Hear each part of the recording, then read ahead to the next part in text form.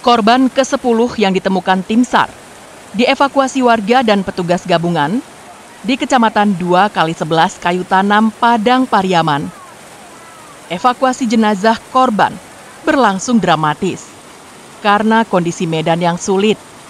Korban berjenis kelamin laki-laki dan tak mempunyai identitas ini ditemukan tim SAR terjepit di antara dua batu besar. Akibatnya, petugas gabungan dan warga setempat berupaya keras untuk mengeluarkan mayat itu dengan peralatan sederhana. Setelah berjibaku selama lebih dari dua jam, petugas akhirnya berhasil dan memasukkannya ke kantong jenazah.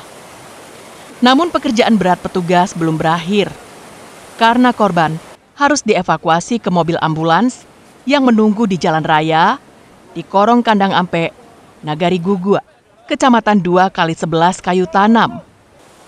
Petugas harus ekstra hati-hati karena menyangkut keselamatan. Pasalnya, tim gabungan harus menyeberangi dua sungai yang berarus deras, melewati belantas, dan mendaki tebing. Setelah berjalan sejauh 3 km, jenazah korban akhirnya tiba di Jalan Raya Padang Bukit Tinggi dan langsung dibawa ke Rumah Sakit Bayangkara Polda Sumbar untuk diidentifikasi. Kendala di kita saat ini adalah medan untuk penjemputan. Mayat cukup uh, arusnya deras terus ada tebing-tebing yang saling membahayakan. Terus kedua mayat dijepit dua batu besar. Alhamdulillah berkat bantuan masyarakat di sekitarnya ini uh, aparat TNI dan Polri bersama tim uh, mayat dapat dievakuasi. Upaya pencarian korban akan terus dilakukan warga dan petugas gabungan selama sepekan.